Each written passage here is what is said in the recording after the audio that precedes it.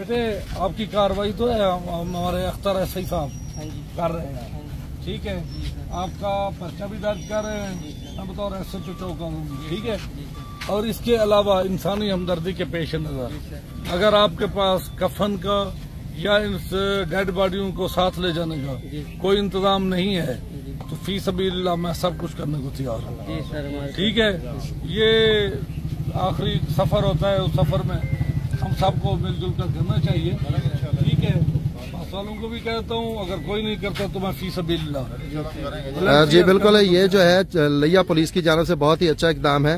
भैया पुलिस का हमारे डीपीओ साहब भी अजीम लोग हैं। उनकी हिदायत भी यही है। इसके अलावा जाती तौर पर भी मैं जवेद मलंगी साहब हैं। इन्होंने जो है इस चीज़ का जो है वादा किया है कि मुकम्मल तदफीन कफन दफन का इंतज़ाम जो है वो ये करेंगे क्योंकि ये गरीब लोग हैं।